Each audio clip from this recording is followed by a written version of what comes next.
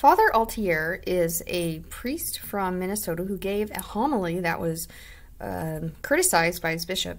So instead of him really persevering against the compromise of truth, he just kind of uh, snuck back into his hole, so to speak, and started doing uh, the easy way, taking the easy way out. And I'm just exhorting Father Altier to please keep writing books, keep standing up for your faith no matter what the cost.